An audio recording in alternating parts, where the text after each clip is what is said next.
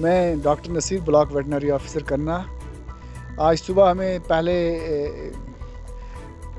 Unusual mortality की reports Naichiya गाँव से आई। यूजुअली क्रोज क्रोज में कई दो तीन कौवे वहाँ हमें इंफॉर्मेशन मिली।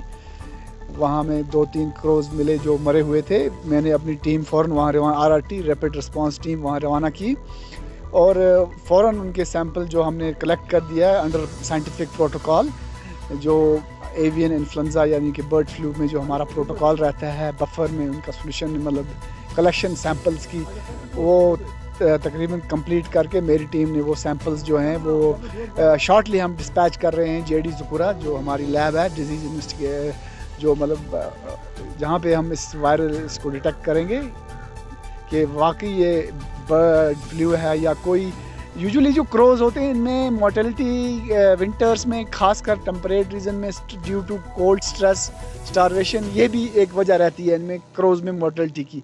आप यूजुअली देखें हमारे करना में जो कमर्शियल ब्रॉयलर फार्म तो है नहीं इतने तो बिल, आज विंटर के विंटर में जो देखेंगे आप तो nil almost we have a nil commercial broiler production in करना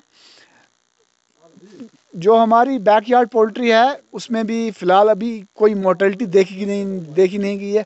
यूजुअली क्रोज क्रोज का आपको मैं बोल दूँ कि crows they are the carriers of avian influenza virus bird flu virus तो उस लिहाज से हमें मतलब we can not be sure कि ये बर्ड फ्लू है या कोल्ड स्ट्रेस है।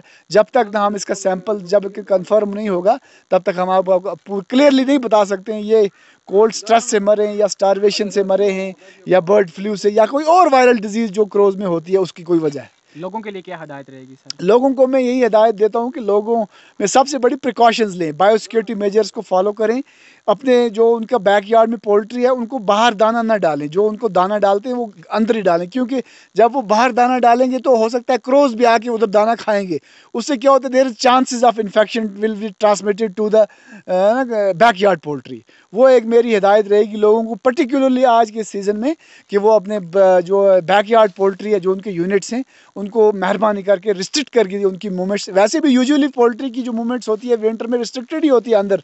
लेकिन आज कल मैं उनको ज़्यादा बोलता हूँ कि आज जो जो स्केयर है, ये बर्ड फ्लू का, इसकी वजह से ये इनको चाहिए कि ये अपने जो बैकयार्ड पोल्ट्री है